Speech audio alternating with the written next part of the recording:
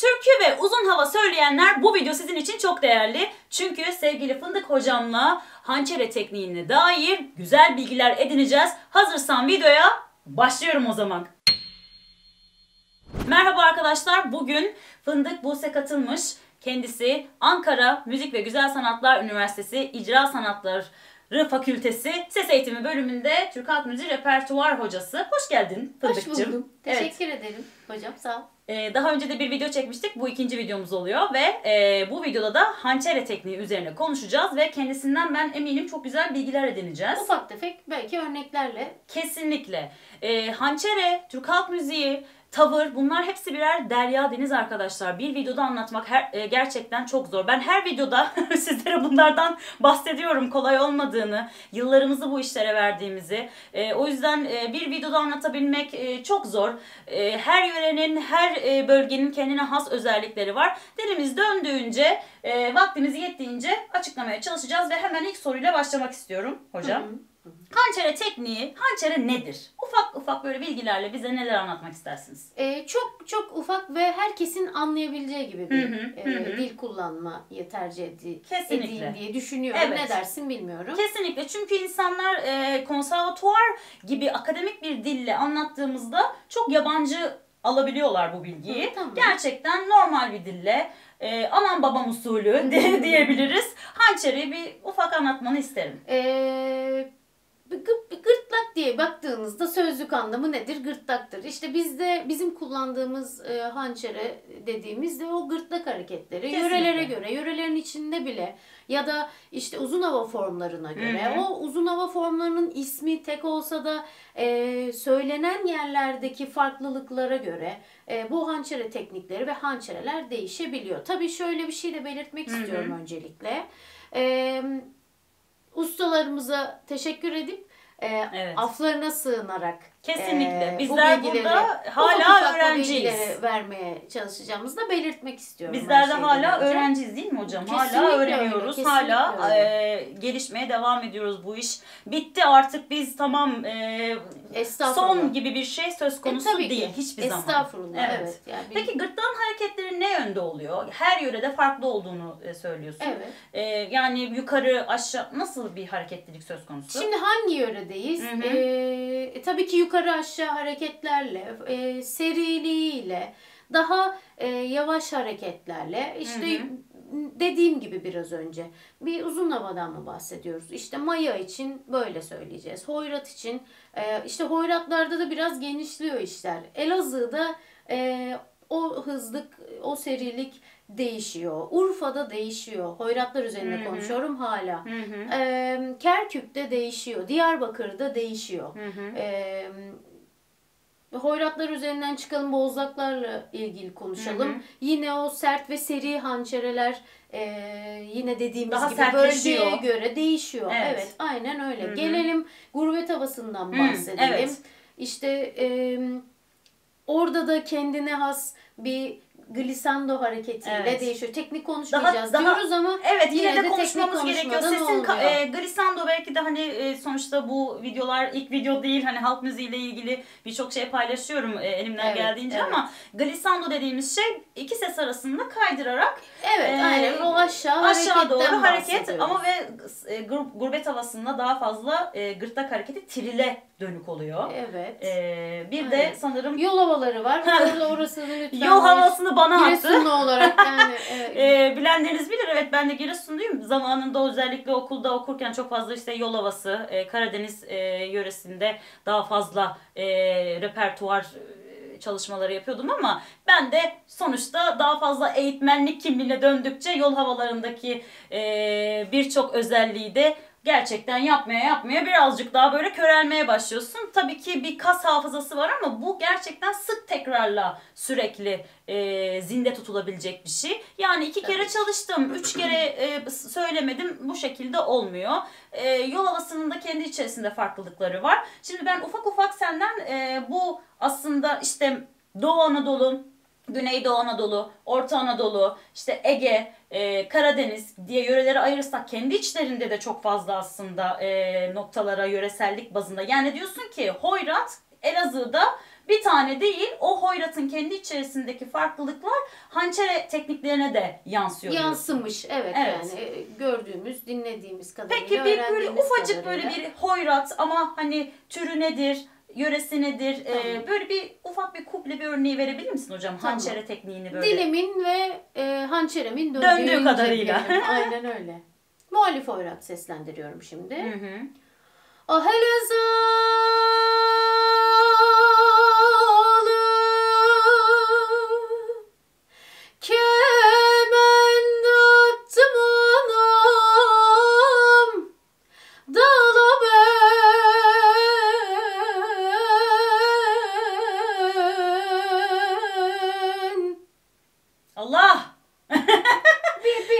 bir, bir, böyle bir, Bir bir, kuple. satır bir satır. Şimdi duyduğunuz Bakalım. üzere çok fazla ayrıntı var. Hani dedik ya derya deniz ben şimdi bunu gel hocam açıklayalım desem bu bir test konusu mu? Test konusu. Yani burada ben hançerin özelliğini nasıl üstten çarptım, nasıl alttan çarptım bunların hepsi bir kas hafızası ve bir motor beceri. Ve burada hocamın yıllarını e, yani tecrübesi söz konusu. Tabii ki haliyle şimdi çok rahatlıkla yapıyor. Dinlediğinizde ya ben de yaparım gibi gözükse de öyle olmadığını hepimiz biliyoruz. İlmek ilmek örüyoruz. Sanki gerçekten böyle dantel e, yani nakış gibi işliyoruz böyle diyebiliriz. Ama buradaki muhalif oyrak birazcık daha teknik olarak nasıl oluyor hocam? E, ne, ne yaptık? Ah hele zalim Orada çok hızlı bir geçiş vardı. zalim yaptık. Evet. Evet. Biraz da e, tabii öğrendiğinde e, Mehmet Üçer'le öğrendim. Hı hı. Sevgili hocam Mehmet Üçer'in de ellerine Selamlar olsun hocam. Ustamız sağ olsun. E, onunla öğrendim ve aslında bize kemik olarak bu uzun havayı Hı hı. e, öğretti ve nasıl yorumlarsını Hı hı. Çok değerli, söyledi. çok Bu- önemli. bu çerçeve içinde fakat. Hı hı. Yani öyle uçmayacaksın. Evet. Ne yapacaksan bu çerçeve içinde O zaman bu hançeri birazcık daha hızlı ve seriydi. Evet burada öyleydi. Evet. Kement attım anam. Şimdi burada bambaşka bir şey var. Anam. Aynen öyle. Yani şimdi burada bir hançer analizi yapmış olduğumuzda daha fazla böyle İşte oralar sende hocam. yani yok bende değil estağfurullah daha alttan çarpmalı bir çekiş var yani ama buradaki o gırtlağın hani ne dedik e, gırtlak hareketleri hançeredir. Demek ki burada gırtlak sadece yukarı çarpmıyor aşağı çarpmıyor sürekli bir hareketlilik ve bu da haliyle seste farklı bir duyma sebep oluyor. Evet ve işte makamıyla ilgili de şimdi Hı hı. Ee, Muhalif Evet mu- mu- muhalif hoyrat dediğimizde sege hüzzam makamına Hı denk yani hı hı. sege hüzzam evet makamına denk gelir biliriz. evet Ee, başka o bir sesler içinde tabii ki de ilerliyoruz. Tabii. Evet aynen Başka öyle. e, yine aynı e, belki hoyratlar kendi aralarında çok fazla, Çok e, fazla alt türlere ayrılıyorlar. Tabii tabii yani çok Hı hı. fazla hoyrat var. E, dolayısıyla hepsini örnek göstermemiz de mü- Mümkün değil. Ufak ufak Böyle iki hoyrat e, hı. bir seslendir- tane daha seslendirebilir miyiz? Var mı Tamam. öyle bir seçeneğimiz? Olur. Bir de acem hoyrat seslendirelim. Tamam bir daha acem olarak. Aynen Bakalım öyle. oradaki hançerenin tekniği nasıl bir farklılık gösterecek? Tamam. Tamam. Muradı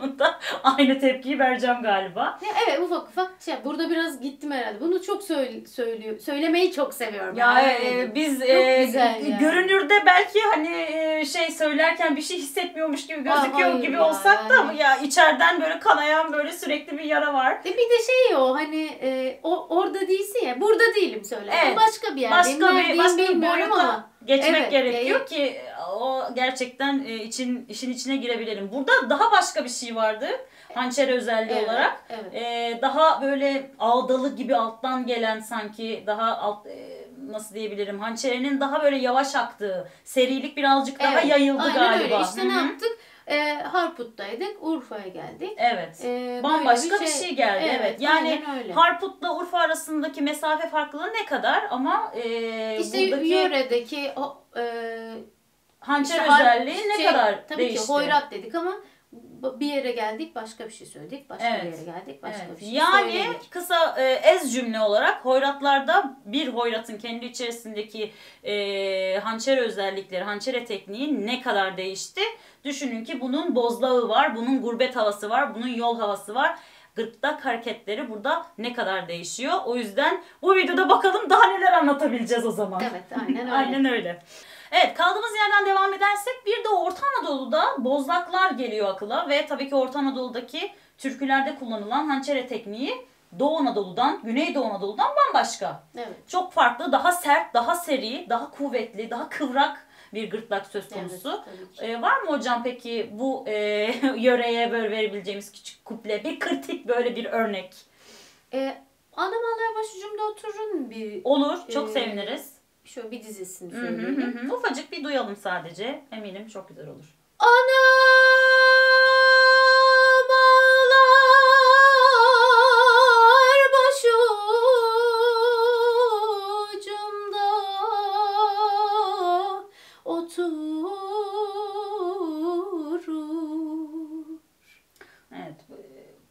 Bambaşka bir şey. Daha Başka bir yere döndü. başka bir yere döndü. Başka bir e, hissiyat geldi. Gırtlağın hareketi daha yuvarlak ve daha sert ama daha da e, yoğun geldi. Evet seri geldi. e, seri geldi.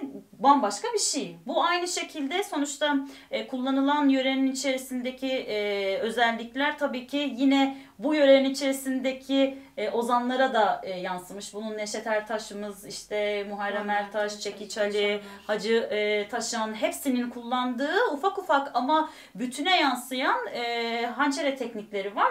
E, bu da yine bir derya deniz. Evet biz de elimizden Biz de geldiği, elimizden geldiğince seslendirmeye Evet, çalışıyoruz hançere diyelim. hançere deyip işte geçmemek gerekiyor.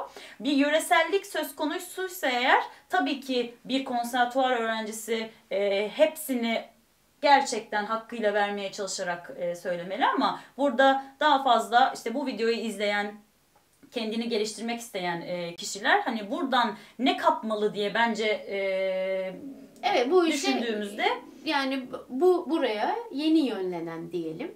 Ee, tabii ki de kimse de bizi yanlış anlamasın. Benim hep çekincem o. Yok yok Yani çekinmeyin. bizi İzleyici bizi çok anlamasın. iyi anlıyordur. Evet. Çünkü bilgiyi paylaşmak bu Aynen. dönemde bence çok daha önemli. Değerli? Ee, biz biliyorsun yani hani bilgileri böyle saklayan raflarda kutu kutuların içerisinde kapalı kutuların içerisinde gizleyen bir e, e, neslin Paylaşmaktan çekinen değil mi? Aynen öyle paylaşmayan Evet. bilgi bende kalsın diyen bir neslin elinde büyüdük. O yüzden bence yaptığımız şeyin ne kadar kıymetli olduğunu izleyiciler bence farkındadır diye düşünüyorum. Evet, evet ben de öyle düşünüyorum. Yine de herhangi bir e, sıkıntıya yol Evet, açmadan evet, için. ben evet, açıklamamı ve savunmamızı yapayım öyle devam edelim Doğru diye diyorsun. istiyorum. Doğru Aynen diyorsun. öyle. Yani biz buraların uzmanı olarak değil ama e, elimizden geleni, dilimizin döndüğünü, hançerimizin döndüğünü yapmaya çalışarak Yok devam daha ediyoruz. ne olsun hocam e, ağzına Teşekkür yüreğine ederim, sağlık. sağ Peki olun. yine e, başka bir yöreye döndüğümüzde e, Ege'de işte gurbet havaları dediğimizde burada da bambaşka bir e, nokta var. Aslında videonun başında da söylemiştik. Var mı hocam yine böyle ufacık da olsa bir e, örnek verebileceğin bir Ne yol havası çok pardon gurbet, Gurbet havası olabilir. Hı hı. E, olabilir. E, Ali de Bey'imde bir Hı hı hı hı. Şöyle bir yine bir Hı hı. dizi okuyalım. Ali de beyim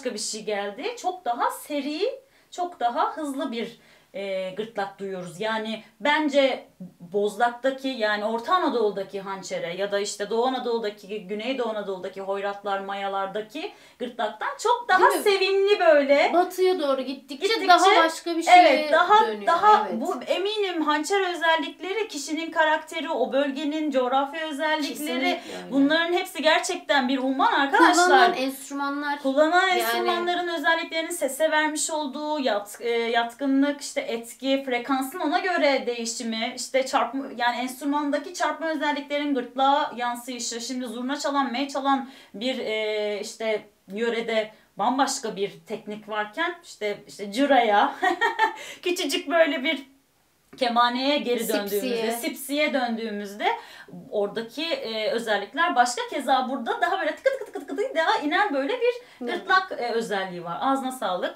Ee, ne yapsak bir yol havası mı desek Yol hocam? havasına Yani- da ben örnek vereyim diye düşündük ama ben hiç girişmesem mi diye Hayır düşünüyorum. hayır öyle bir şey olur mu? Yani e, tabii ki ben de bir Giresunlu olarak zamanında çok fazla e, tabii ki mesai harcadık. Yani kulağımızda artık işte yolculuklar boyunca dinledik, ettik, e, kaynak dinledik. E, zam, şimdiki aslında e, bize örnek olabilecek genç kuşaktaki kaynakları dinledik ama dediğimiz gibi bu çark sürekli çalıştıkça dönebilen bir şey. Yapmayınca, çalışmayınca gırtlak gerçekten pasife düşüyor. Bu noktada da benden de size bir ufak bir tavsiye olsun. Kendinizi bu anlamda geliştirmek istiyorsanız e, gerçekten sürekli yani çalışan demir ışıldar çalışacaksınız. Hatırlamıyor musun Buse? Yani okulda ufacık böyle bir melodiyi. Kaç kere tekrar ediyorduk ya? Yani tabii ki biraz kondisyona baktığı için e, Tabii bin ki. defa da tekrar etsen Bir defa bir bir ediyorsun. bir etmek heceyi, zorundasın. bir Kesinlikle kelimeyi, bir heceyi. O yüzden e, ben de dilim döndüğünce uzun zamandır da söylemiyorum ama ben de bir göstermeye çalışayım. Lütfen. tamam. Oy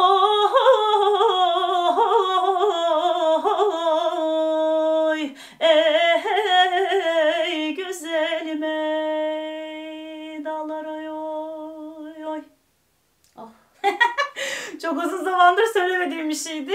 Ee, farkındaysanız teşekkür ederim. Ee, Karadeniz'e gidince e, bu Trabzon yöresine ait bir yol havasıydı. Ee, bir kublesini daha doğrusu gırtlağı e, teknik olarak daha yoğun duyabileceğiniz, belirgin, en belirgin yerini Evet. söylemeye çalıştım. Burada bambaşka bir hareket geldi gırtlaktan. Daha yukarıdan çarpmalı, daha o vokaliyle yuvarladığımız e, ve sert çarpıp dönerek e, inilen bir aslında e, burada bir motif vardı ve e, merdiven e, inişi vardı ama burada tabii ki bunu teknik olarak anlatmaya çalışırsak dediğim gibi e, yani milyon tane video video yapmamız gerekiyor. Bambaşka bir gırtlak hareketi var arkadaşlar. Şimdi hocamız farklı yörelerden yaptı. Ben bir yöreden örnek verdim ama ne kadar farklılıklar e, içerdiğini bence sizler çok daha iyi analiz ettiğinizi düşünüyorum. Her yöre e, kendi içinde farklılıklar barındırıyor. Her e, hançere tekniği kendi e, türünün içerisinde farklılıklar barındırıyor. Bu bir derya, bu bir deniz. Biz de dilimizin döndüğünce Birkaç tane örnek örnek vermeye çalıştık. Evet. Umarım sizler için faydalı olmuştur. Sizlerin de nezdinde Fındık Buse katılmış ha. E, teşekkür ediyorum. Ayağına sağlık, diline sağlık, hançeresine sağlık. Çok teşekkür ederim davet ettiğin için. Ee, benim için çok keyifliydi. Umarım biraz olsun yardımcı olmuşuzdur. Sürçülisan ettiysek de affola, Affola. diyorum. Aynen öyle. Teşekkür ediyoruz arkadaşlar bu dakikaya kadar izlediyseniz ve lütfen videoyu beğendiyseniz beğenmeyi ve kanala abone ol- olmayı da lütfen unutmayın. Kendinize ve sesinize çok iyi bakın. Başka bir videoda inşallah görüşmek dileğiyle. İnşallah. Hoşçakalın. Hoşçakalın.